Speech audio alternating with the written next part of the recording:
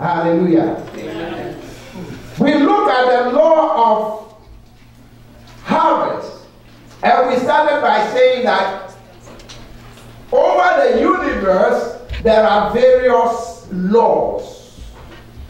We have the law of gravity in operation, we have the law of housekeeping, we have, when you go into mathematics, we have various laws. We have in physics, we have Newton's law, we have law of Newton's law of inertia, we have all kinds of laws. When you come into the house of God, we have laws and principles. Amen. Amen. You cannot plant papaya and reap rice. It's, it, it, can, it can be. Hallelujah. Amen. And uh, I said that the law of harvest doesn't actually mean only mean putting money into the house of God. Your own life. That's right. What you do with your life will bring a result. Hallelujah. Amen. I said, when you plant love, you receive love. Amen. When you plant hatred, you receive hatred. Everything, every negative thing that you do will backfire. Amen. Hallelujah.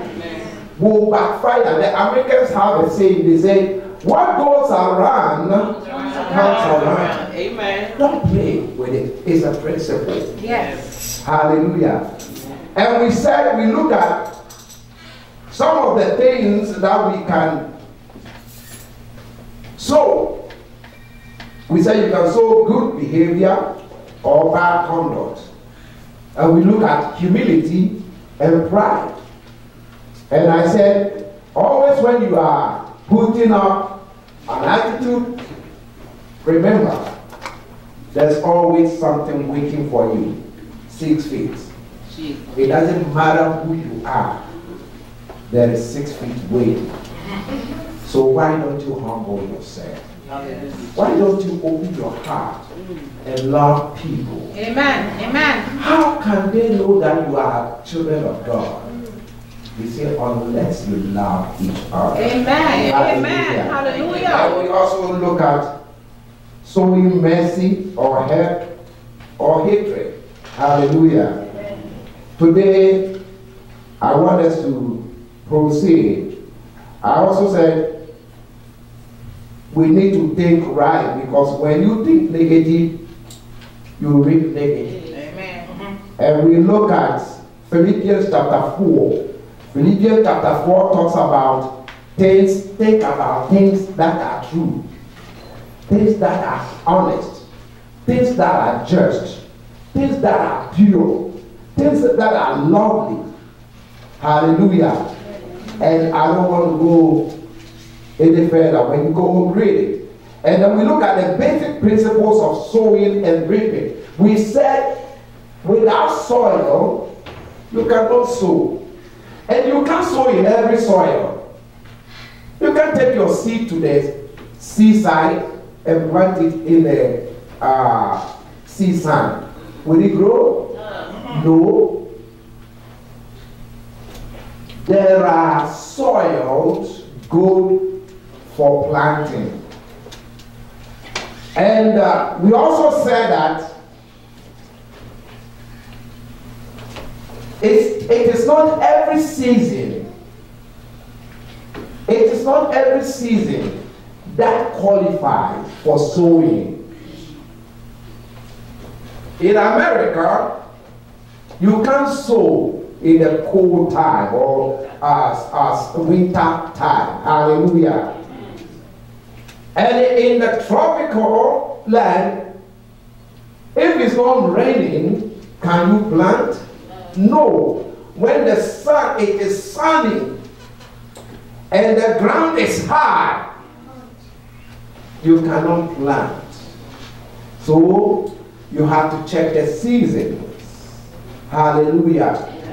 Farmers back home, as soon as they see the first rain, they start preparing their grounds. Hallelujah. Amen. So there are seasons for sowing. That's why some time ago I said, don't let anybody coerce you to give if inside of you you are not willing. Because God will not take that. He said, out of a willing heart. Hallelujah. If somebody comes and tell you, give, give, give, and inside of you, your heart is not in consonant with what the person is saying, please hold back your money because you are going to attract cares. Don't give to God grieving. Give to God out of a willing heart. Amen. Even if it is a pain, Yes. Amen. don't let people coerce you. A prophet will come. Do the, the prophet is and, and inside here, you are not convinced. Please hold on. Take back your mind. Let God convict you. Then, even if you go, you take the money away, and God convicts you to bring back the money. Bring it later. Hallelujah. Amen. But don't give grudgingly. Yes. Amen. It will not attract any blessing. Amen. Don't spoil your seed. Amen. Hallelujah. Giving out of grudge or grievance is anger is spoiling your seed. Amen. May God help us. Amen. Hallelujah. I also said you can reap what others have sown. You can reap what others have sown. You are a Christian today because of the prayers of your mother or your father or your grandmother. That's right. They prayed for you to be saved. They planted the seed of what? Prayer. Yes. Amen. That's why you are sitting here today. Mm. Sister Andre's father prayed for her Amen. because the father was a minister. Yeah. Pray for her to stay in the house of God. Amen. Hallelujah. Amen. I, I know that it's not everybody who come, who come from a Christian home, but God has prepared you for this time. Amen. Hallelujah. Hallelujah. Hallelujah. Hallelujah. I said, it is not only money that you can sow. True. That's true. You sow your thoughts. Hmm. The Bible says, what a man thinketh in his heart, so is he. Amen. Yes. If you plant hatred, you will get back hatred. That's right. That's right. Hallelujah. Amen. Hallelujah. Thank you, Father Jesus. Praise you. Somebody will hate you for nothing.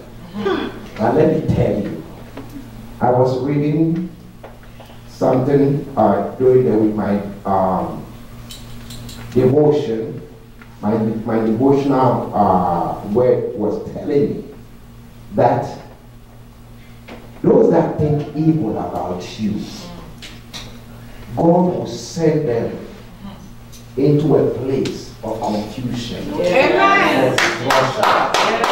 Hallelujah. Those who hate you as a child of God, just as God said to the Israelites, look behind you. Yes. Those you see today, you will not see tomorrow. If God declared it to the children of Israel, He is declaring it to you today. If they plant seed of evil, they will get evil. Yes. Amen. Amen. Fear not. Mm-hmm. Thank you, Lord. Fear not. Glory to God. In the Bible, it said, Fear not has been said in the Bible about 300 and something times. That is, God wants you to estimate conf- conf- confident in Him Amen. It doesn't matter no matter what you are going through, no matter what I'm going through. I'm somebody I never get discouraged. Amen. It doesn't matter what I'm going through. It doesn't matter if I have money or I don't have money. I don't care. I don't look at nobody. But I look at Jehovah God. The Bible says He is my supplier. He is my supplier. Hallelujah. This morning, Dr. Mike said, The Lord is my shepherd. Because he's my shepherd, he knows where the green pastures are. Amen. Glory to God. Hallelujah. I'm excited. When it comes to the word of God, I'm so excited about the word of God because the Bible says he sent his word to heal me. He sent his word to heal me. Hallelujah. Every circumstance has been healed. Yes. The devil is a liar. Hallelujah. Hallelujah. Hallelujah. Hey, glory to God. Hallelujah. Thank you. Glory to Glory God. be to Hallelujah. You see, God, I said you can reap what others have sown. Mm-hmm. Now let's look at the life of Abraham. Mm-hmm. It was Abraham that God sowed, it was Abraham that sowed to God. And after he was gone, his children continued Amen. to enjoy the fruits of their father's labor. Yes. Hallelujah. Glory to God. Hallelujah. Thank you. Hallelujah. Let's plant good. Yes. for our Glory. It will be you who will be enjoying by your children. Yes. You may be gone, but God will remember. I have a covenant with this man. I have a covenant with Brother Tony. I have a covenant with Pastor Lincoln. I have a covenant with my children. Hallelujah.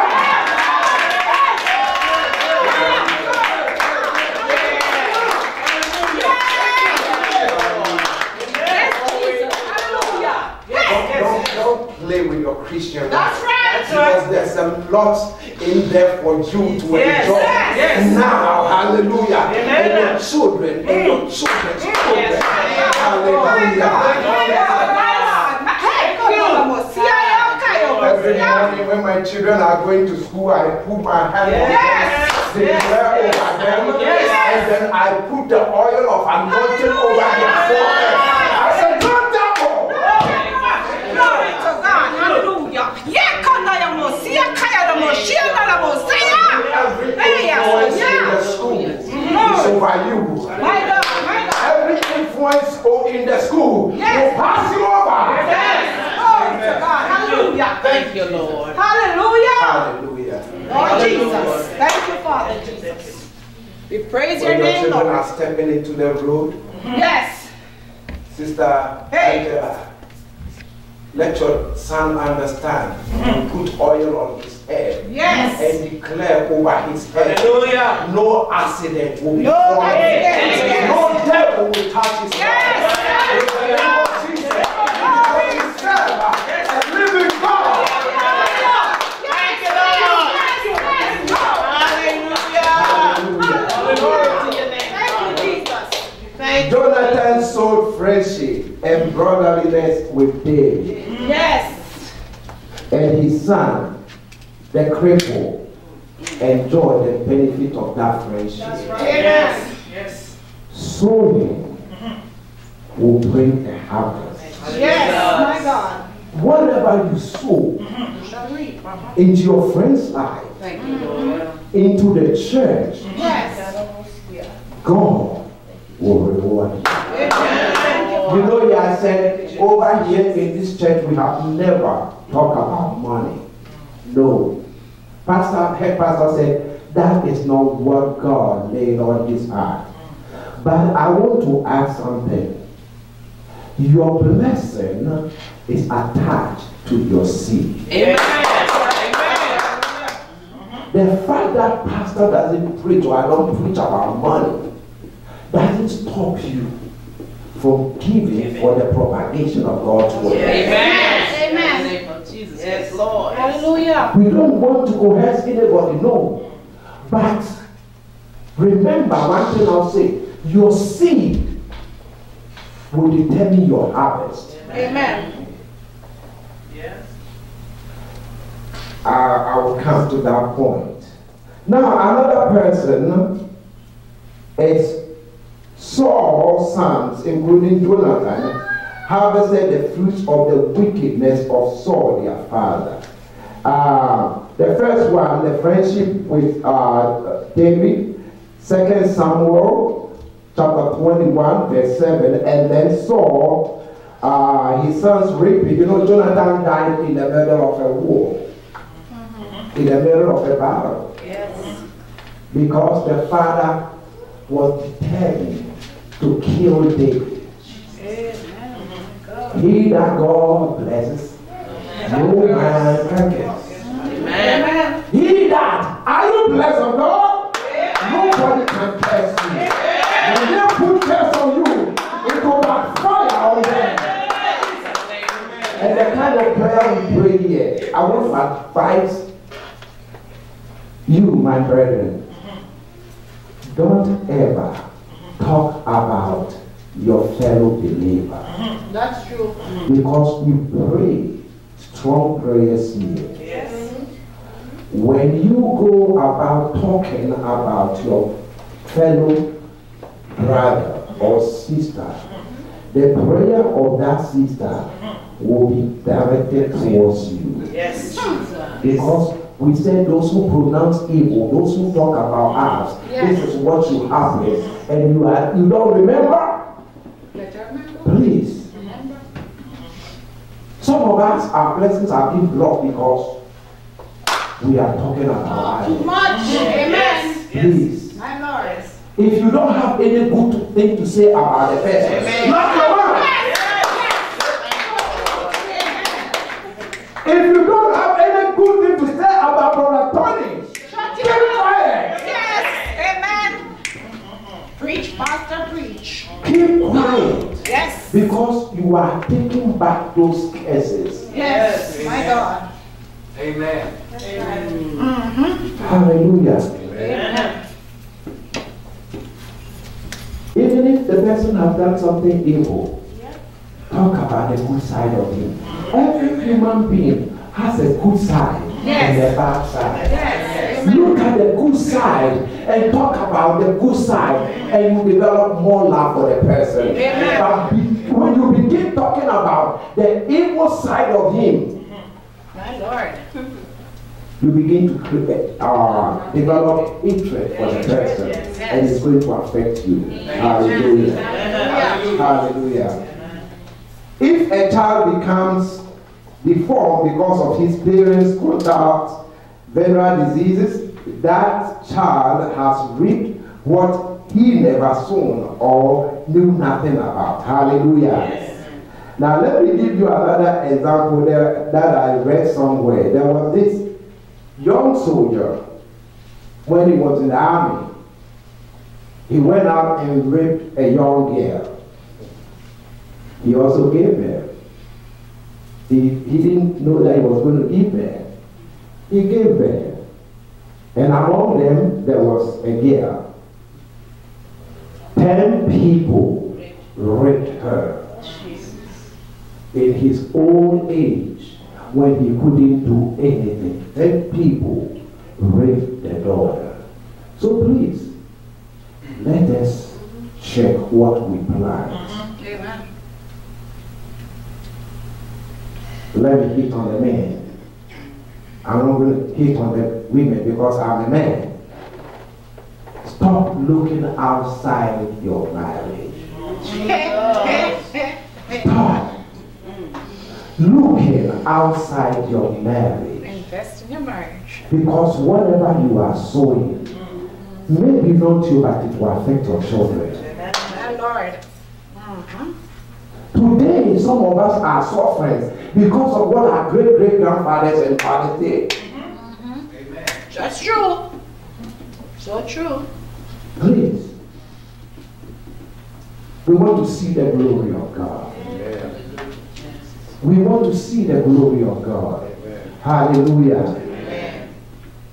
While they sow good and reap bad fruits, but what should certain happen? Let's look at Jeremiah chapter 12, verse uh, 13. It said, They have sown wheat, but shall reap thorns. That's God saying. They have put themselves to pay, but shall not profit. And they shall be ashamed of your revenues because of the fierce anger of the Lord. When God is angry with a person, whatever he does will be an abomination before God. That's true.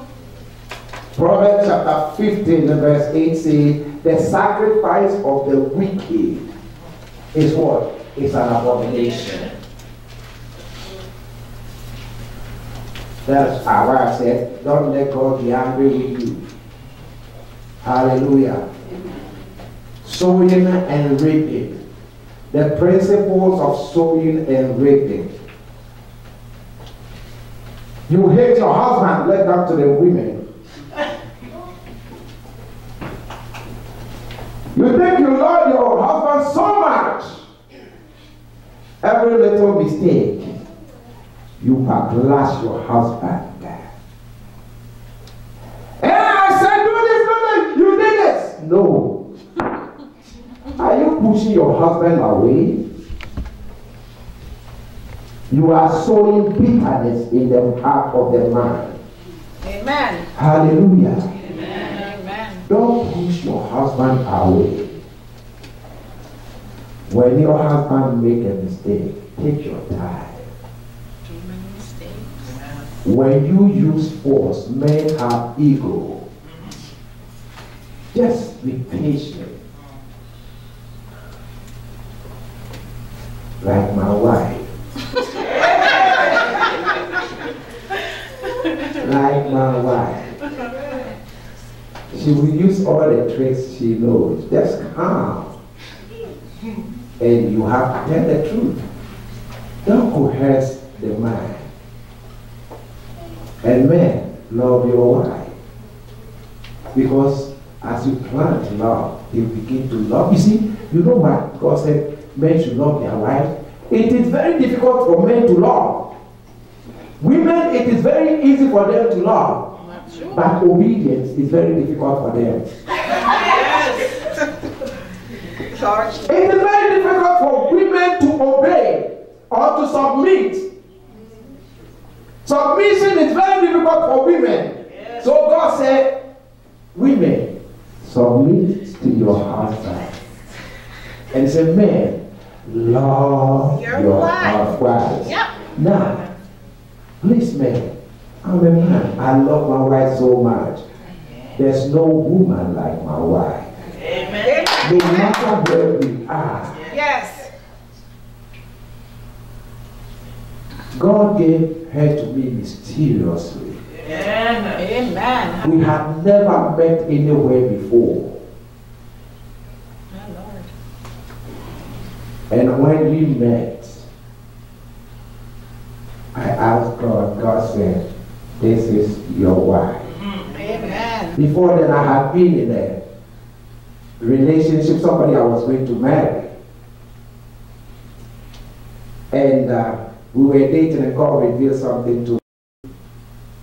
I confronted her.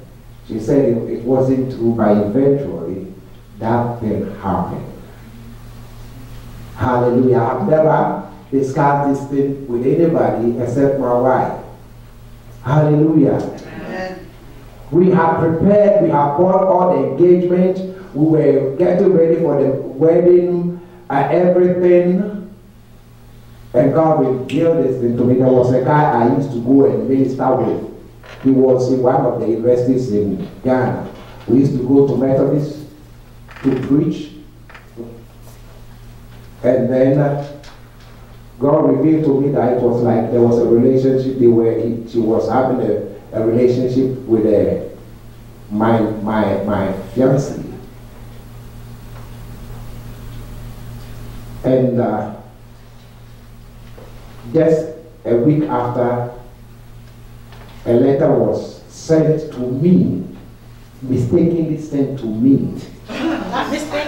Not. Yes. It was sent to you. It was Yes, supposed to it was supposed to go to the girl. Yeah. And the boy's brother Yes, delivered the letter to me. God revealed it. And God so revealed it. when I, that evening, you know, we're going for prayer, I gave the letter to the girl. She was sitting by me. So she uh-huh. started, do you want to read it? I said, somebody gave you a letter, why would I read it? So he, she started reading it aloud. And I said, oh, so what I said, you had a relationship with this guy long before I met you? Eh, They said, oh no, when we were in high school, I said, okay, that was the beginning of the fall of that relationship. and I stay out of a relationship praying for a real direction. Amen. And I tell you, I've never made a mistake about my wife. Yes. Hallelujah. Amen. When she is hungry, when she is hungry, I am there. And when she is angry, I calm down. When she, I am angry, she calms down. Yes. Hallelujah. Amen. But we have never been angry at each other, Amen. That's right. whether we are poor or rich.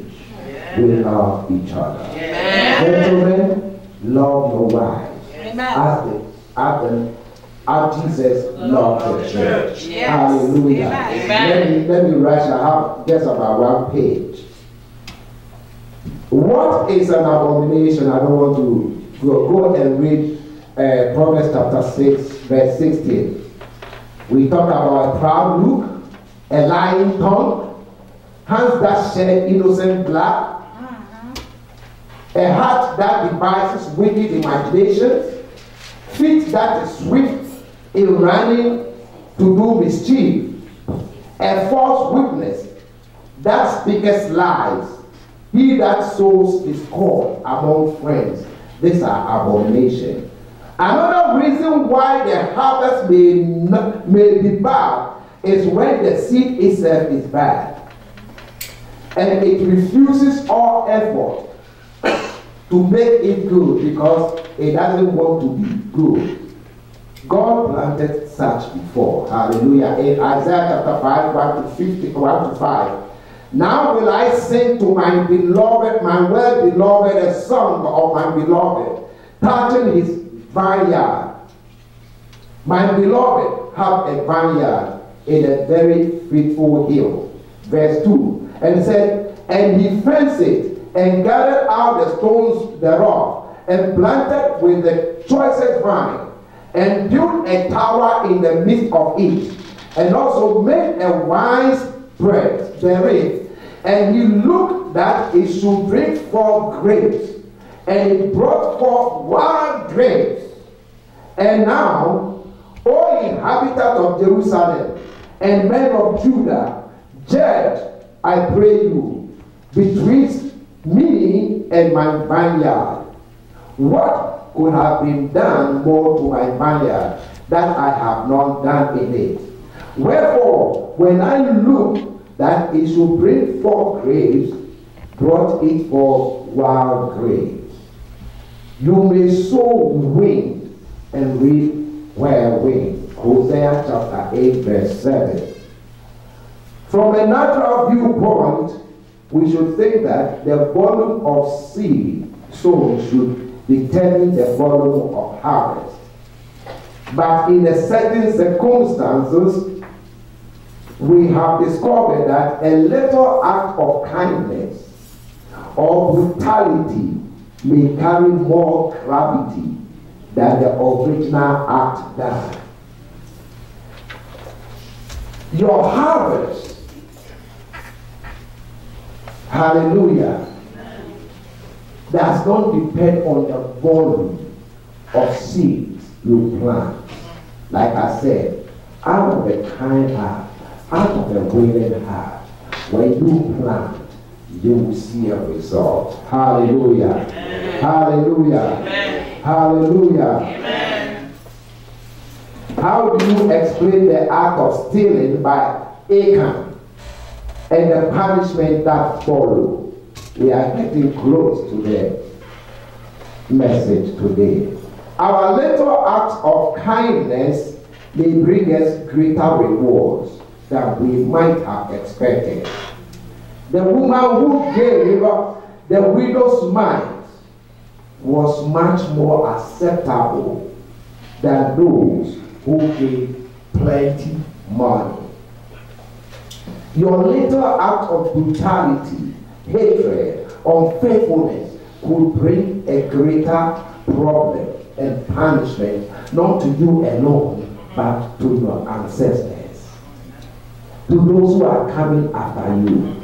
I don't want my children to suffer. I don't want my children to go through pain. So I want to plant a good seed. Amen. I want to plant a good seed. One very last thing I want to say. When you are planting, be careful, your children are watching. Jesus. Amen. Amen. When you stay on the phone shouting, your children are listening. Tomorrow you will hear them saying the same thing. Yes. Hallelujah. Hallelujah. Hallelujah. Amen. If you sow, somebody should open First Corinthians chapter 9. That is the end. First Corinthians chapter 9, verse 6. Can somebody read it for me?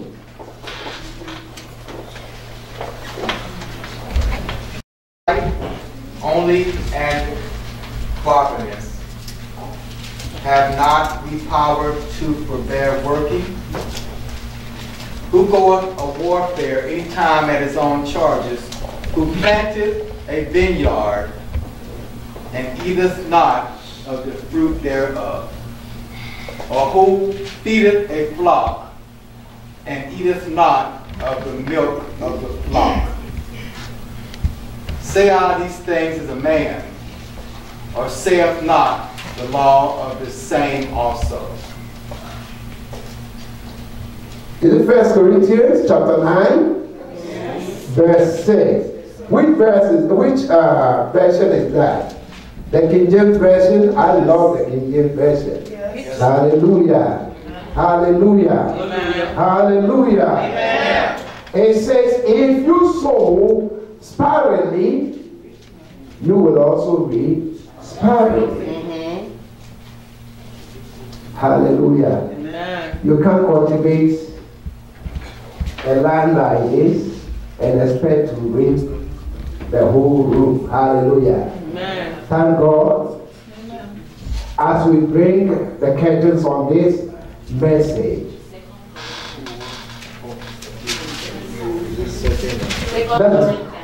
it's second, then I mean, I, I'm sorry, hold on. Just a minute. Sparingly, yes, shall reap also sparingly. And he which soweth bountifully shall reap also bountifully. Hallelujah. Amen. With this, I bring the curtains on our topic, the law of harvest, or the principle of sowing and reaping. I know that it is only old women with uh, uh, dementia or whatever, they can remember something of old. But with young men and women, we can remember something we have heard right now. So the last part of our message should ring in your mind. Sowing sparingly, you will reap sparingly. So begin to trust God and sow bountifully. Amen. Amen. Shall we be on our feet?